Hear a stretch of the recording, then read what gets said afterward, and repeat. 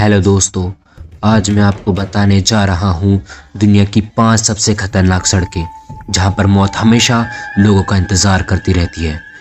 लेकिन, लोग फिर भी इस एडवेंचर का मज़ा लेने के लिए दूर दूर से आते हैं। अगर आपका शौक ड्राइविंग करना है तो भूल कर भी इन सड़कों पर मत जाइएगा, क्योंकि इन सड़कों पर जाना मतलब मौत को गले लगाने जैसा है। स्टेलविया पास। ये सड़क अपने घुमावदार रास्तों के वजह से दुनिया भर में फ़ेमस है।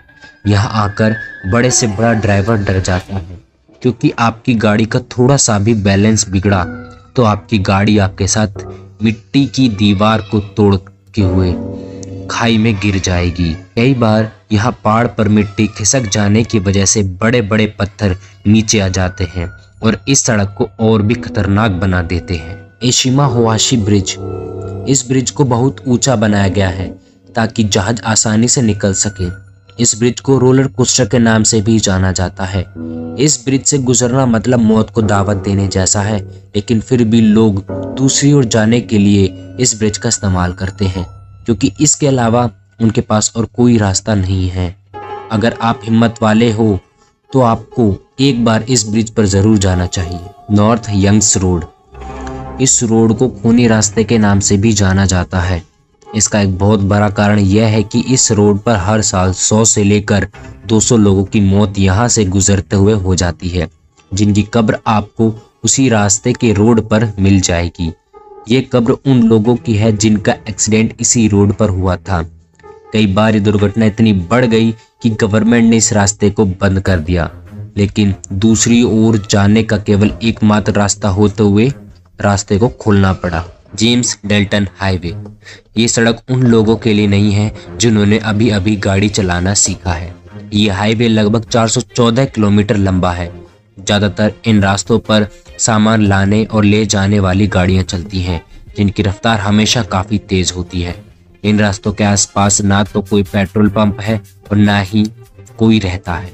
इस रास्तों पर हवा इतनी तेज चलती है कि बड़ी बड़ी गाड़ियाँ पलट जाती हैं या फिर इन हवा से उड़ते हुए पत्थर, गाड़ी की लाइट या शीशे को तोड़ देते हैं। और कई बार इस रास्ते पर इतना कोहरा होता है कि सामने से आने वाली गाड़ी दिखाई ही नहीं देती। जिससे एक्सीडेंट का खतरा बढ़ जाता है। अगर आप अलसका घूमने जाते हैं और कार किराए पर लेते हैं तो नियम के अनुसार आपको कार को डेल्टा रोड पर ले जाने नहीं दिया जाता। अटलांटिक ओशियन रोड, ये रास्ते नार्वे में समुन्दर के ऊपर बने हुए हैं, जो कि रोड ट्रिप के लिए बेस्ट जगह है, लेकिन यहाँ हर कदम पर खतरा मौजूद है। यहाँ आपको एक छोटी सी चूक भी आपको मौत के घाट उतार सकती है। अगर आपकी कार या बाइक ब्रिज से बाहर जाती है तो आप कार के साथ समुन्द्र की गहराइयों में समा जाएँगे। दोस्तों, आपको बाइक चलाना पसंद है या कार? और आपके पास कौन सी बाइक या कार है? हमें कमेंट बॉक्स में कमेंट करके बताएँ। दोस्तों अगर आपको ये वीडियो पसंद आई है और आप चाहते हैं कि हम इसका सेकंड पार्ट भी लाएँ तो आप इस वीडियो को लाइक और कमेंट कर दें। इस वीडियो के नीचे लाल बटन है, उसे दबाकर हमारे चैनल को सब्सक्राइब कीजिए। वीडियो देखने के लिए धन्यवाद और प्लीज़ लाइक सब्सक्राइब करना ना